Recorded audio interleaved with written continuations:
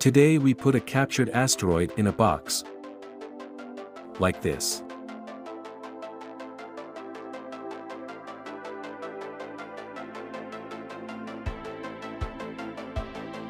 For this we have to do multiple journeys from Earth to the captured asteroid which is frustrating. But anyways let's start.